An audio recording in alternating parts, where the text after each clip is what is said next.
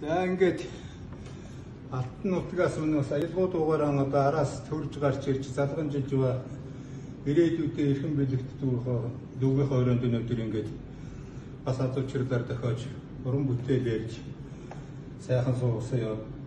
Дагимандаа бас энэ сайхан хөгжин дээр нь нэг ардын дуу тоглож одоо дурсгал болох уу да. За баярлалаа.